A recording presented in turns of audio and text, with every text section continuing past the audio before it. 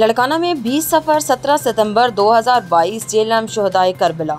लड़काना शहर समेत ज़िला भर में मातमी जलूस पर अमन तरीके से मंजिल की तरफ़ रवान तवा S S P Larkana Asar Raza Baloch मरकज़ी मातमी जलूस की निगरानी के लिए बजाते खुद ऑन रोड रहे।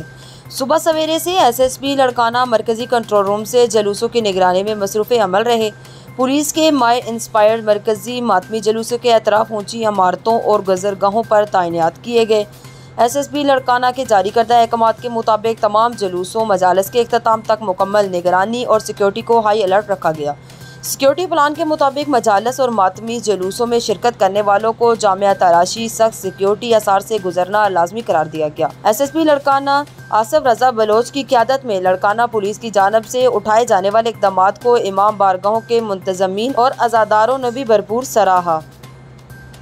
बाडा के करीब गाँव कंदन संग में बरसात ने तबाही मचा दी थी। अब तक कोई मुंतब नुमाइंदा वहाँ ना आया। बाडा के करीब गाँव कंदन संग में बरसात ने तबाही मचा दी थी। अब तक कोई मुंतब नुमाइंदा वहाँ ना आया। तफसीत के मुताबिक बाडा के करीब गाँव कंदन संग में बरसात की वजह से 25 घर मट्टी के ढेर बन गए। अब तक कोई मुंतब नुमाइंदा वहाँ ना पहुँचा।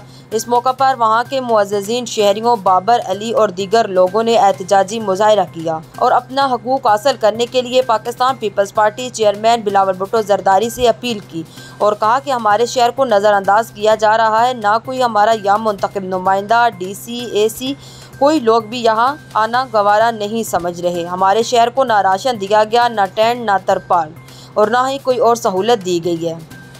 सादकाबाद में रेस्क्यू 1122 की टीमें rescue safety officer Ashiq Mahmood के जेर चहलम हज़रत इमाम हुसैन इमाम बारगाह पर ड्यूटी सर इंजाम दे रहे थे। पहले मरहले में मरकजी इमाम बारगाह नहर किनारा सर्विस फ्राहम की गई। रेस्क्यू ने दूसरे मरले में बरोसवार इमाम बारगाह कसर रुबा फिता चेहलम के लिए सर्विस को मुहैया किया गया। Rescue safety officer Ashiq Mahmood ने कहा कि इस नोयत के पेश नज़र तमाम स्टाफ की छुट्टियाँ मनसूख कर दी गई DG Punjab food authority Shoaib Khan Jadoon की हदायत पर ज़िला चकवाल की फ़ूड सेफ्टी टीम्स की सेहत दुश्मन अनासर के खिलाफ कार्रवाइयाँ।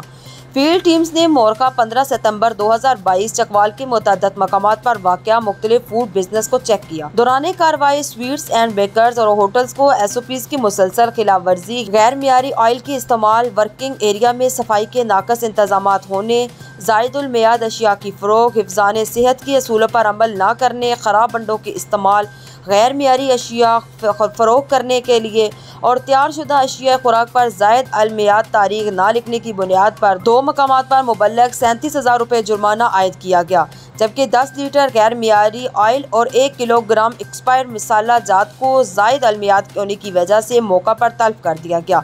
मजीद बराम मतद फ़ूड बिज़नेस को एस ओ पीज़ पर अमल दरामद करने के लिए हदायतनामे जारी कर दिए गए। आपकी सेहत के तहफ़ के लिए हर लम्हा कोशा हैं। Punjab food authority, Chakwal.